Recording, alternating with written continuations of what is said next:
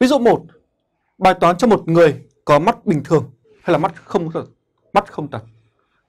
Nhìn thấy được các vật ở rất xa mà không phải điều tiết. Khoảng cách từ cực cận đến mắt là OCC bằng 25 cm. Bài toán yêu cầu là hỏi độ tụ của mắt người sẽ thay đổi như thế nào khi điều tiết tối đa hay độ tụ của mắt này tăng thêm bao nhiêu khi chuyển từ trạng thái không điều tiết về trạng thái điều tiết tối đa. Được chưa các em?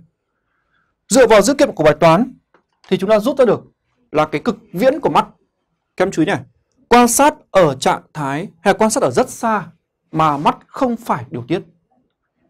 Mà các em nhớ là mắt không phải điều tiết khi chúng ta quan sát tại cực viễn của mắt. Ở đây, vật ở rất xa rồi. Khi đó, chúng ta sẽ có là OCV sẽ bằng với vô cùng. Được chưa các em? Nhá. Quan sát ở trạng thái không điều tiết là quan sát tại cực viễn. Còn quan sát ở trạng thái mắt điều tiết tối đa là quan sát tại cực cận của mắt. Với cực viễn bằng vô cùng và cực cận là OCC bằng 25 cm. Đến đây, chúng ta sẽ tính được độ tụ của mắt khi quan sát ở hai trạng thái là không điều tiết và điều tiết tối đa. Các em lưu ý là khi chúng ta quan sát ở trạng thái mắt không điều tiết hay là trạng thái mắt điều tiết tối đa, thì ảnh của vật qua thấu kính mắt đều nằm ở trên võng mạc của mắt. Đúng nào? Thứ nhất là khi không điều tiết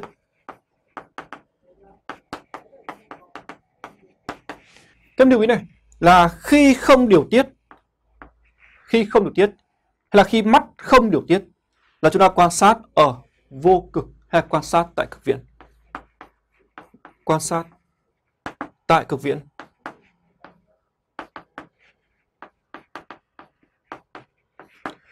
Và quan sát tại cực viễn cho nên vật đặt tại cực viễn của mắt. Khi đó D sẽ là OCV. Và ảnh thì luôn nằm ở trên võng mạc, đúng không? Vậy D phải sẽ bằng với OV.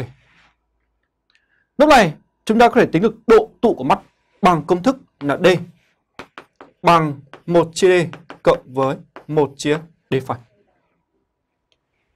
Ở đây, kem tuyệt D này có giá trị cực đại.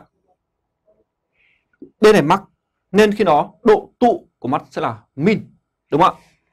Từ đây, chúng ta được công thức tính độ tụ